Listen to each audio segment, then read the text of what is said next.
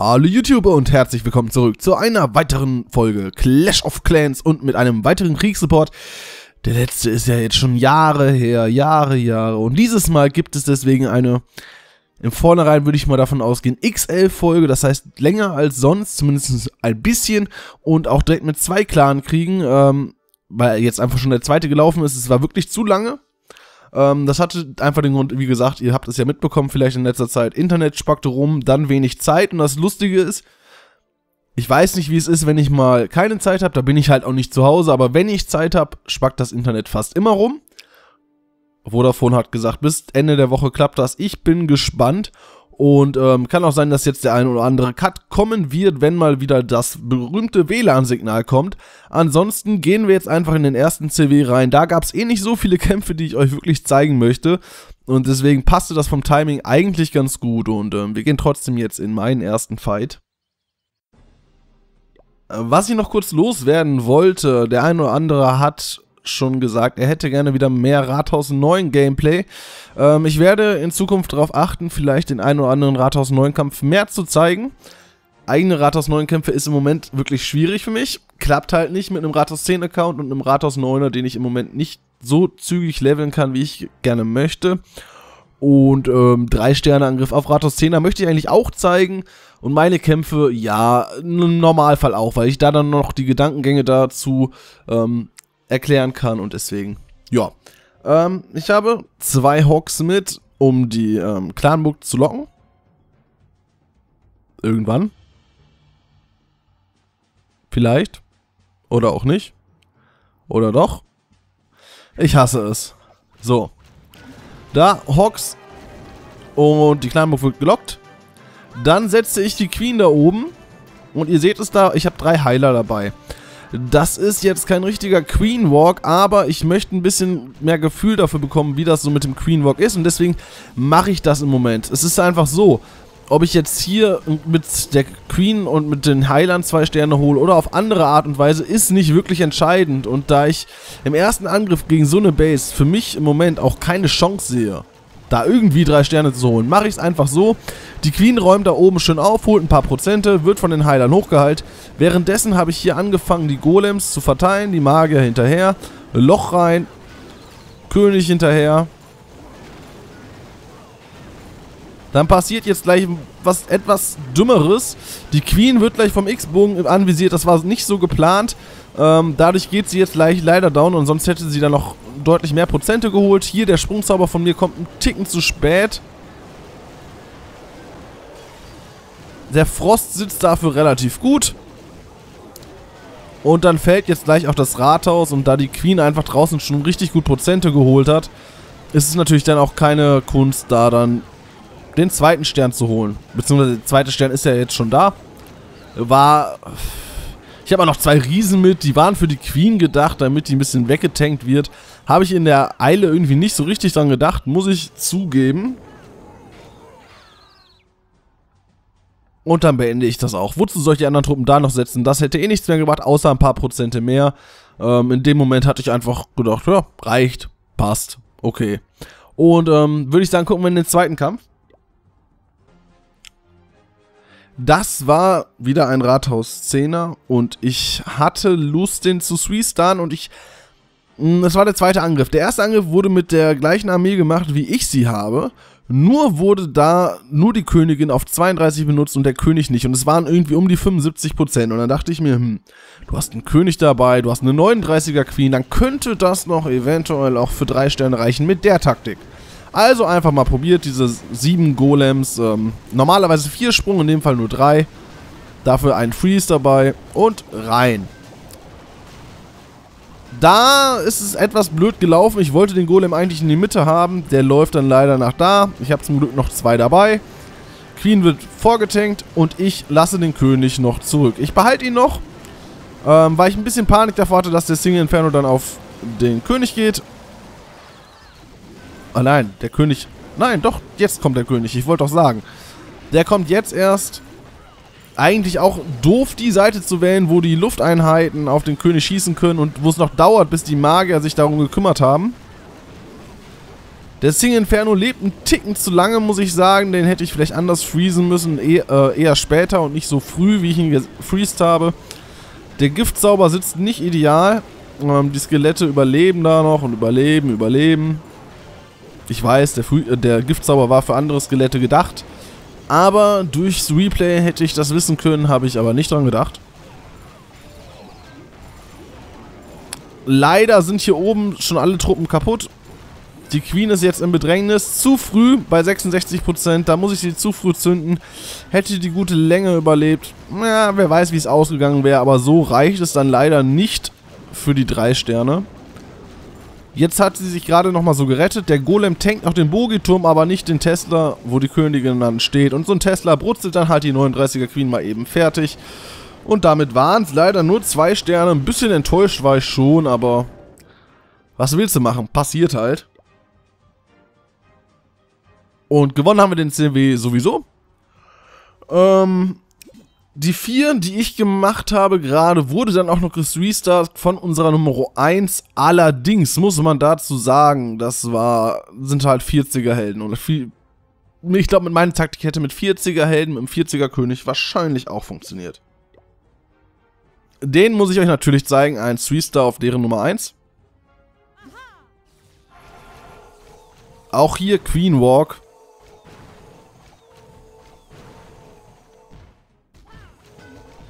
Die Queen wird hier in dem Bereich einfach niemals von zwei oder ja doch von zwei vielleicht schon gleich, aber niemals von drei ähm, Single-Point-Gebäuden angegriffen.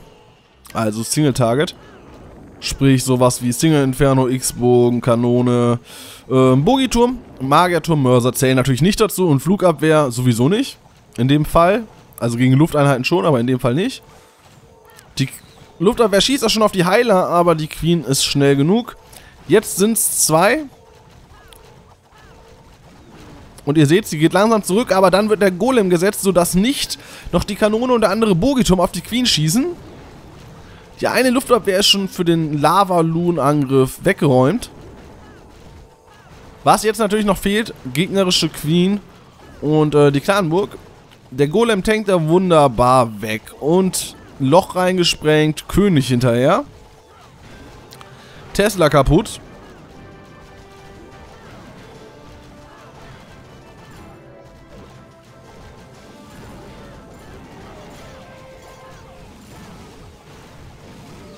Und dann kümmert sich seine Queen noch um die Clanburg. Und um die gegnerische Queen auch noch. Der Heilzauber, den er da gesetzt hat, der... War ein Heilzauber oder war das der König äh? Ich bin mir gerade nicht sicher. Wenn es ein äh, Heilzauber, Wutzauber. Wenn es ein Wutzauber war, war der nicht ideal. Und dann beginnt der Loon Drop mit vier Haste Spells auf Level 3. Ähm, in dem Fall mit Sicherheit nicht verkehrt. Der Freeze sitzt einfach perfekt. Die sitzen beide richtig, richtig gut. Und jetzt haben die Loons einfach Ruhe. Sie können richtig schön Damage austeilen. Der Multi-Inferno stirbt jetzt. Und die X-Bögen sind auf Boden und damit passt es einfach. Der Queen Walk am Anfang hat relativ lange gedauert. Dafür war der letzte Teil dann wirklich sehr, sehr kurz. Ein Lavahund von ihm. Zwei, oh mein Gott, zwei Lavahunde leben noch. Na, der eine könnte jetzt explodieren. Explodiert er noch? Nein, er explodiert leider in dem Moment nicht. Da wäre es sogar fast besser gewesen, er hätte den Haste-Spell sich gespart und hätte ihn später gesetzt. Dann hätte er noch ein paar Welblinge mehr gehabt zum Aufräumen, aber da er auch noch ein paar Lakaien dabei hatte, kein Problem. Die Heiler stehen da ein bisschen unnütz rum, aber das ist normal. Lufteinheiten heilen sie ja nicht. Und der Bogi da ist unversehrt. Und dann können wir vorspulen und sehen einen wirklich sehr, sehr sehr schönen 3-Sterne-Raid. Also finde ich richtig, richtig nice. Richtig gut gemacht. Sowas will ich dann später auch mal machen und können. So, ich hatte mir mal dieses Mal ausnahmsweise die Nummern vorher rausgesucht, die wir uns angucken wollen. Ähm. Wen hatte ich mir denn noch aufgeschrieben? War dieses Mal, in dem CW war es wirklich sehr mau, also die Karte sah nicht so besonders aus. Den Angriff hier, hm, kann man zeigen. Auch hier Queen Walk. Und ähm, es ist zwar ein Rathaus 9 5er, ihr seht das, ein 31er König, 30er Königin, 5 Zauber, aber trotzdem finde ich, ist der einfach saugut gemacht. Also da oben erstmal der Greenwalk. Auch hier wirklich, die, die Verteidigungsgebäude, die Single-Target-Gebäude stehen alle so weit auseinander, dass die Queen in Ruhe, richtig in Ruhe da Prozente holen kann, schon mal die erste Verteidigungsgebäude wegnehmen kann, mögliche Spots für Riesenbomben rausnimmt.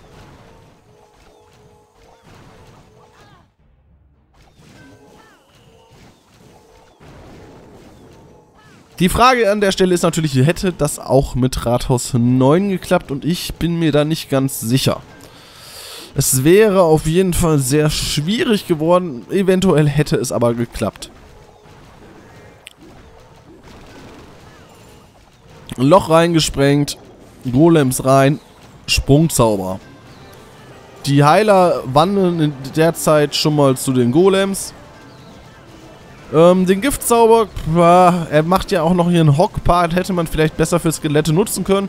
Er setzt sie hier einzeln, aber so, es ist einfach es ist perfekt. Diese Stelle hier ist perfekt, damit auf allen drei Gebäuden, äh, die da stehen, Heilwirkung kommt. Und er setzt ihn halt dann auch so perfekt. Und so braucht er wirklich nur sehr wenige Hocks.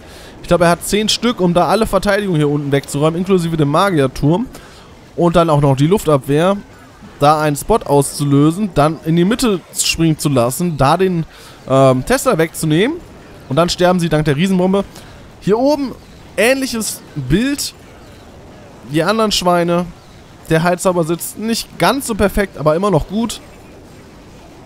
Ihr habt es vielleicht gesehen, der hätte einen Ticken weiter nach unten gemusst. Und auch da ist eine Riesenbombe. Er hat schon relativ viel Pech mit dem Auslösen der Riesenbombe. Aber, aber, aber, es reicht einfach. Es ist perfekt abgestimmt. Und da muss man sagen, wirklich gut Job. Also starker Angriff. Auch wenn es Rathaus 9.5 ist in dem Fall egal. Also wie, trotzdem wirklich stark. Und einen habe ich noch aus dem CW. Glaube ich. Hier seht ihr es, das meinte ich mit schwach. Hier sind Rathaus 9er offen, das ist... Oh, da wird einem ja schlecht. Und von dem Guten hier werdet ihr in Zukunft wahrscheinlich öfters Angriffe sehen. Der ist einfach ein Hockmeister, also er kann das echt gut. Hier unten mit den Golems rein. Mit Magiern dahinter aufräumen. Die 25er Queen, die natürlich auch schon sehr stark ist für Rathaus 9. Von hinten schon mal aufräumen lassen.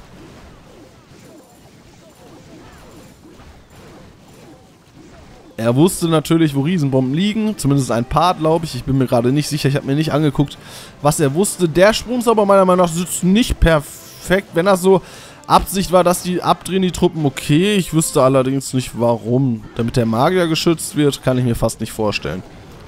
Dann setzt er da oben. Er fängt jetzt schon an mit dem Hock. Ähm, mit dem Hock, Hock, Hock, Drop, genau. Setzt aber erst jeweils einen Riesen davor. So kann er sich den Heilzauber da relativ in der ersten Reihe sparen. Und verliert nicht zu viele Hocks. Setzt dann die Heilzauber einfach in die zweite Reihe. Und da überlappen die sich gleich sogar ein bisschen, was aber überhaupt nicht schlimm ist, weil der Angriff einfach perfekt durchgeplant ist. Und wenn so viele Hocks dann im Heilzauber stehen, da ist der Damage quasi für die Cuts. Die Gebäude schießen drauf und da fliegen auch einige Schweine, aber es ist einfach egal, weil die Hocks da jetzt richtig gut regeln. Es ist quasi perfekt abgestimmt, weil wenn ihr seht, es leben nicht mehr so viele Hocks, es kommt dann noch eine Riesenbombe. Hier bei dem Bogiturm hätte er wohl ein Schwein mehr gebraucht. Er hatte nicht mehr viel.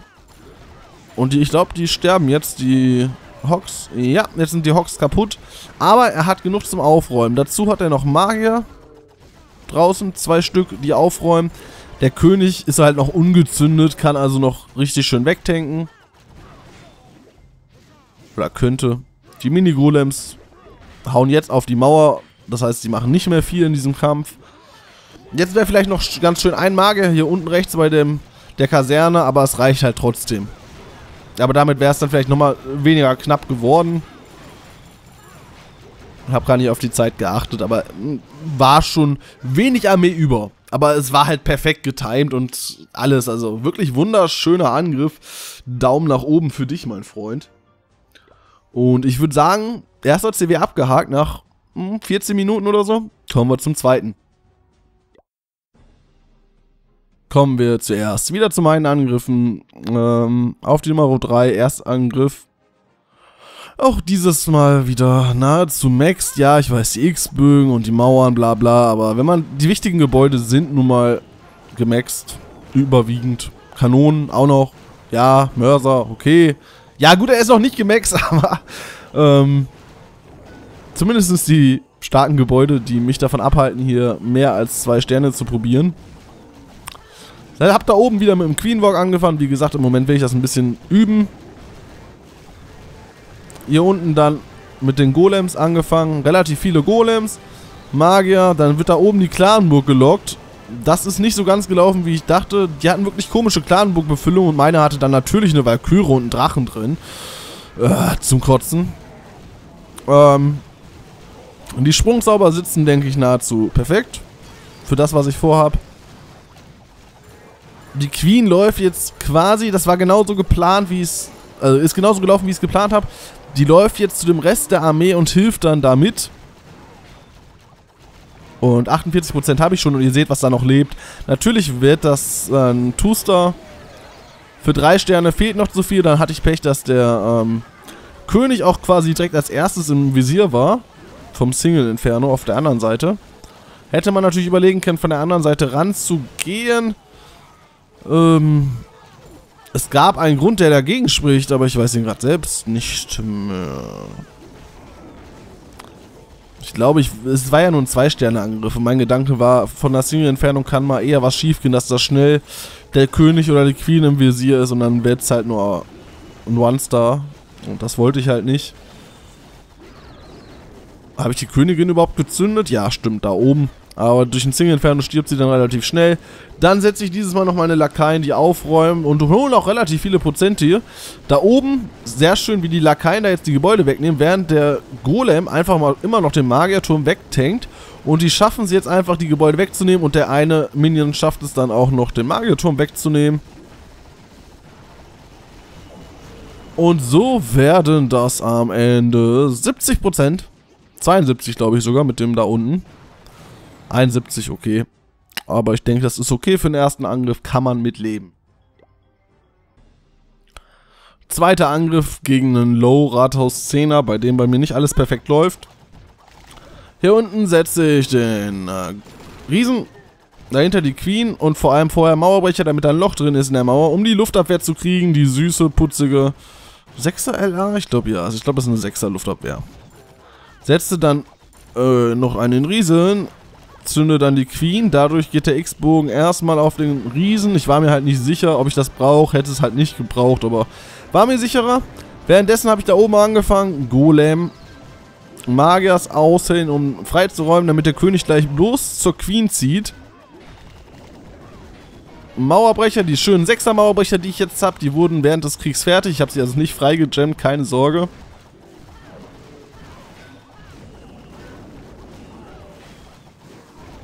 Und dann König zünden und die Gebäude wegnehmen. Währenddessen, beziehungsweise dann setze ich aus für den Loon, statt einem Lavahund, den ich setzen wollte, der jetzt so fliegt und der andere fliegt so.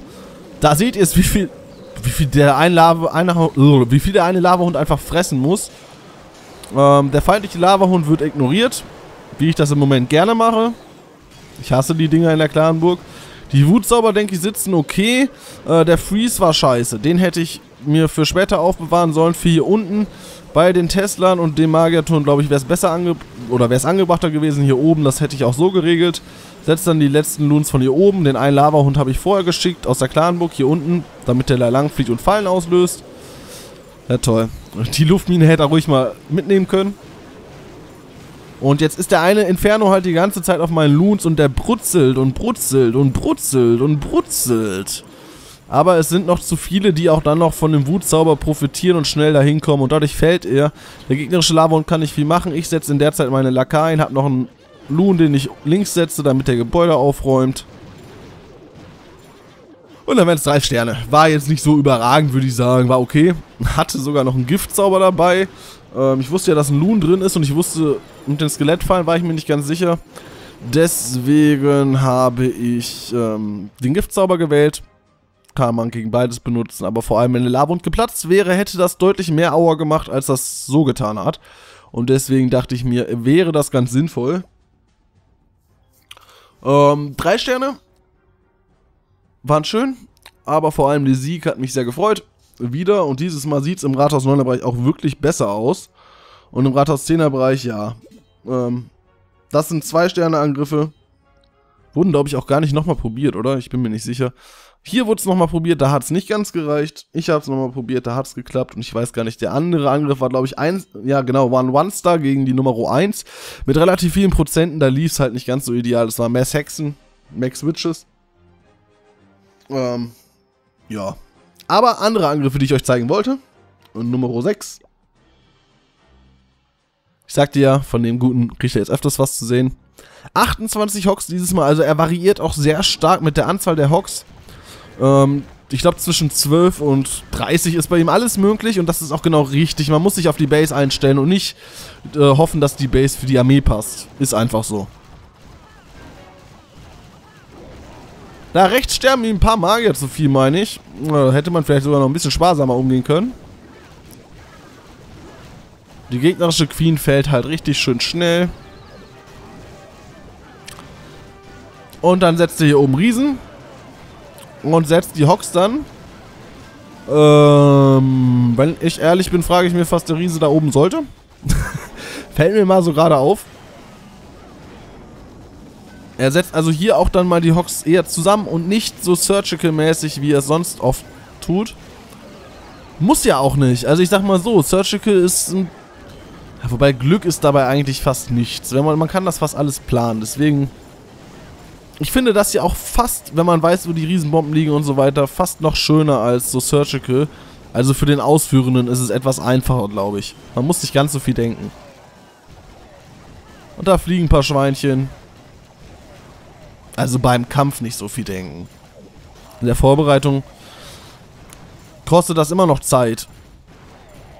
Und dann ist alles weggeräumt. Die Queen lebt noch, ist sogar noch zündbar. Die Hawks räumen unten auf, da oben ist noch Magier. Und ähm, ja, dann zündet er die Queen, während sie auf dem Lager ist, was sinnvoll ist, weil dann ähm, die Fähigkeit mehr zum Tragen kommt, als wenn sie bei jedem Schuss wechseln muss vom Gebäude.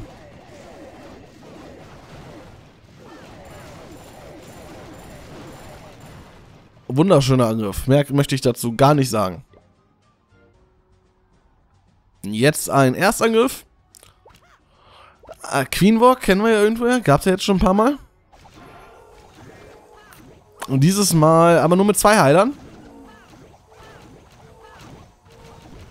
Die da unten ein paar Prozente holt.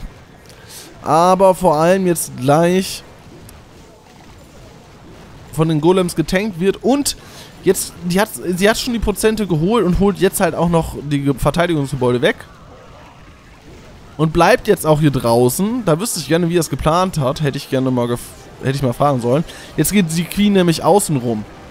Und dann seht ihr, was die in der Clanburg haben. Es ist schon nichts für ungut, liebe UK 999 Mitglieder, aber eine Hexe. In, Im Zeitalter der Giftzauber. Das ist ein Paradies. Das war ja der erste Angriff und dafür war es halt wirklich ein übelstes Paradies. Dieses Mal ähm, nur mit zwei Schweinen, die er jetzt da oben setzt. Die hätte er sich wahrscheinlich fast sparen können hier regeln halt jetzt wirklich die Hexen. Und die, der Queen Walk ist ja auch extrem wichtig. Er hat sich zwar gerade gezündet, aber guckt euch das an. Diese ganzen Verteidigungsgebäude, die die Queen da jetzt wegholt, die stören einfach die anderen Truppen nicht. Und das ist wichtig. Der eine Heiler lebt auch noch, so kann er die Queen jetzt noch ein bisschen hochreihen, während die hier draußen auch schon die Prozente sammelt und die Gebäude zerstört, die sonst auch aufhalten, weil es sind nun mal Lager. Und Lager haben viele HP. Jetzt gleich wird sie sterben. Da ist der Bogiturm einfach zu stark für einen Heiler. Der Heiler fliegt jetzt in die Mitte. Und heilt dann den Golem hoch. Oder die Golems, die da sind. Ich glaube, das sind noch Mini-Golems. Die anderen Truppen kümmern sich jetzt um die Queen, die stirbt. Jetzt müssen sie durch die Mauer durch. Aber dadurch, dass der Heiler die Golems einfach hochheilt, wechseln einfach der Bogiturm und auch alle anderen Gebäude nicht mehr ihr Ziel.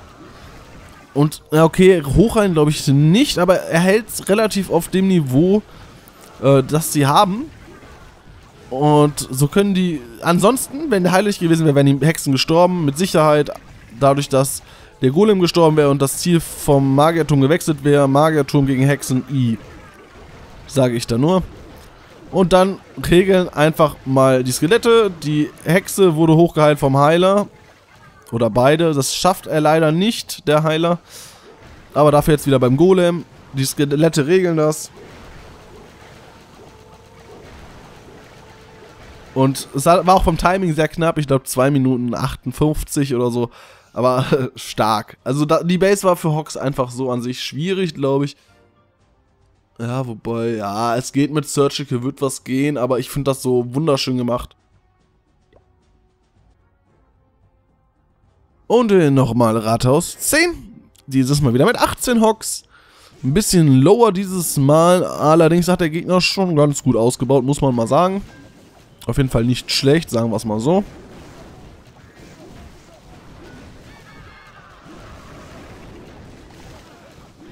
Da setzt er die Hexen, schön Skelette produzieren. Helden hinterher, da rechts, beziehungsweise hier an der Flanke freigeräumt ist, interessiert das die Helden auch nicht wirklich. Das haben die Magier gut gemacht. Der Sprungzauber sitzt schön. Auch hier eine Hexe in der Clanburg. Selten dämlich die Leute. Ich weiß nicht, ob das der erste CW von denen war nach dem letzten Update oder ob die einfach gerne Dunkles spenden wollen. Hier bei dem Angriff muss ich sagen, ähm, der Riese da rechts war okay. Aber der hier oben ist jetzt ein bisschen Quark. Jetzt schießt die Kanone, den hätte man meiner Meinung nach anders setzen sollen. Entweder ein bisschen vom Timing anders, sodass die Kanone, die hier stand und der Bogiturm, die jetzt gefallen sind jeweils, auch noch drauf schießen.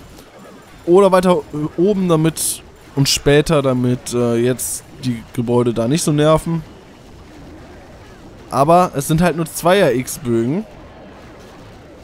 Und ansonsten war der Angriff ja sehr, sehr schön gemacht. Auch hier der Heilzauber wunderbar gesetzt.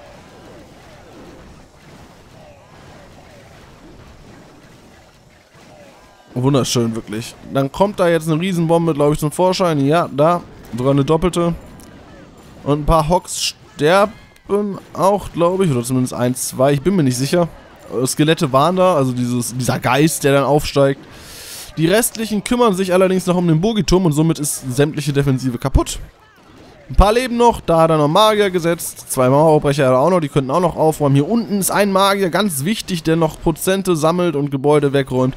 Die Queen lebt noch, die Hawks räumen da oben auf und das Spiel nimmt seinen Gang und ich drücke die Lautstärke-Taste. Zweimal. Und es waren drei Sterne. Und ich denke, das soll es für diese XL-Folge auch gewesen sein. Ich schätze mal, nach dem Schneiden und so sind es 25 Minuten oder so. Ich denke, das ist okay. Es waren dieses Mal zwei CWs, aber sie waren halt, also der erste war zumindest, na, muss man nicht zeigen. Ich hoffe, der nächste CW wird besser. Ich möchte euch da aber nicht zu große Hoffnungen machen. Ähm, mal schauen, was das gibt. Bis zum nächsten Mal. Ciao, ciao.